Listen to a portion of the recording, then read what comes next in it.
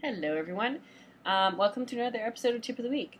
So, last week I told you guys how we won the Emmy for engineering for Storyboard Pro, and so I gave you a little brief overview of the drawing tools and um, storyboarding aspect of Storyboard Pro. But Storyboard Pro goes beyond just drawing, it goes to um, organizing projects and doing animatics as well. So this week I'm going to talk about um, doing an animatic in Storyboard Pro. And I think I will talk next week a little bit about the organizational um, parts of Storyboard Pro so that you can really understand why we won the Emmy because I think that um, you know we the part of the reason why we won the Emmy is because of the pipeline aspect of Storyboard Pro. And um, even for those of you who are single users who are working on your own projects at home, um, you can still take advantage of Storyboard Pro to have a, a, mini pipeline as a single person, and it brings a lot of added value to your project. So that's why I'd like to go with that um, concept here. But let's just start with my simple project here that I have as my demo project that I started working on last week. Um, and so I've got a couple of panels in here that I did last week to show off couple of the drawing tools. I'm sorry that my drawings aren't the best drawings when I do these uh, for demos. I have to always go so fast, so can't do a great drawing. Um, but one thing that that is um, kind of interesting about this whole software is the idea of doing some little bits of animation. And so whenever you're doing little bits of animation, then you can go into the timeline workspace. Think of the timeline as anything that moves over time you'll want to do from here because here you actually have a playhead that you can slide. There's a default panel length that each panel is created with, and you can adjust what the default panel length is in your um, in your preferences. Uh, but in here, basically, you can go in and you can change how quickly or slowly things are going. So actually, what I'd like to do is I would like to take this first panel that I sort of drew very quickly in the thumbnail view yesterday, and I'd like to add it to this scene because what I want to do is I want to use this panel as a as a blocker to block some animation for this guy coming into the scene. Then he's going to wave and then he's going to turn around. So in order to add this to this scene, I can simply select the panel here and I can drag and drop it. Now if I drag it so that it's in so that the arrow here is facing down, it means I want to place the panel between these two scenes. If you drag it all the way so that it, the arrow is facing right, it means you want it to be made the first panel in that scene to the right. And um, if you drag it so that the arrow is facing left, it's going to be the last frame or the last panel in the scene before to the left. So in other words, if I put it here, it's going to go right there. If I put it here, it's going to go at the end. Or I can put it after this scene.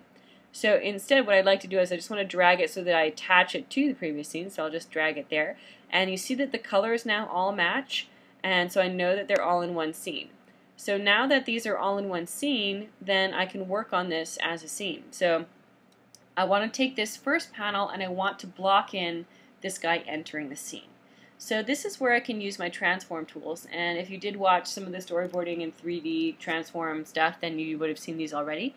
But if I take my first frame transform tool, and that's the one with the green, then I can just drag my character outside the frame because he's going to enter from this side. And I can even resize him. If you resize, um, if you hold down shift, it's going to resize it while keeping the proportions the same. And um, it also, it does, when you do use these transform tools, it uses the pivot point to uh, make adjustments on the animation. So you know, for, for just moving things around, leaving the pivot point where it is by default is fine.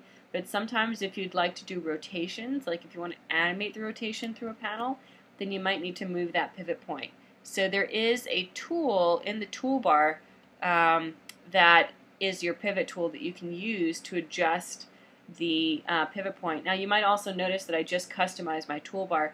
By default, you can't customize this toolbar because by default, um, there are some nested tools. In other words, you have the select tool and then you can click and hold on the select tool and there are other tools that pop out underneath it. When you have a nested toolbar, you can't customize this toolbar. But I like to be able to customize my toolbar.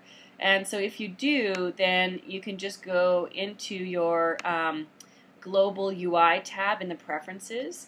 And then in under UI style there at the bottom, there's something that says flat toolbar. And so if you take if you uh, make your toolbar flat, then you'll be able to customize it. But you do have to relaunch the software as it says there. So since mine is already flat, I don't have to, but I do have the ability now to right click on the two lines at the top and then hit customize and adjust which tools are showing. So I just selected a tool and I clicked the right facing arrow and I clicked OK in order to add my tool there.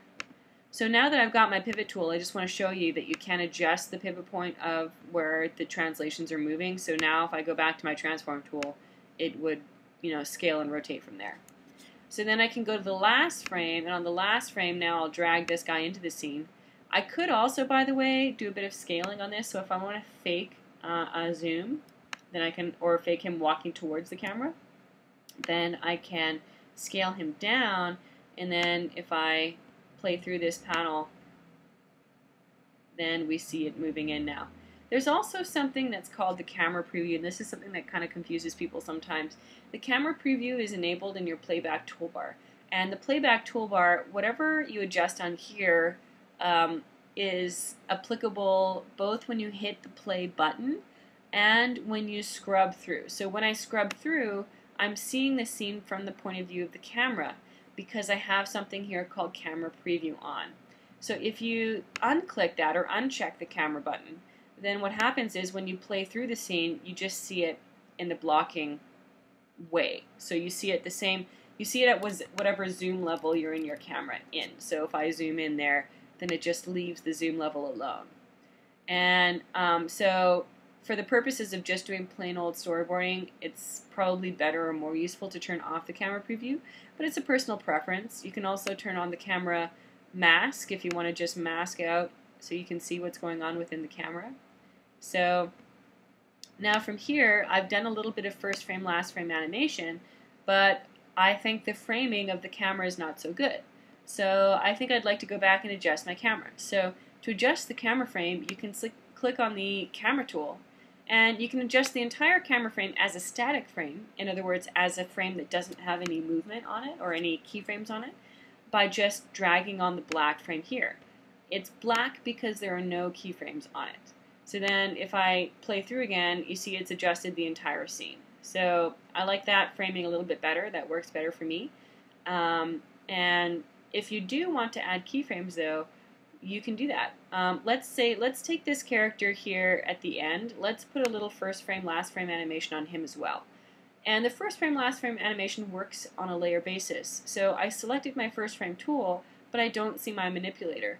And I don't see it because I don't have my rough layer selected. So as soon as I select the layer that contains the drawing, I'll be able to put a keyframe there and a keyframe later on, so he's going to just walk out sideways. So now I've got this, him moving in, his him waving, and then he's going to walk over that way. But what I'd like to do is I'd like to track some camera movement as he's walking. So I'll track with him as he's walking.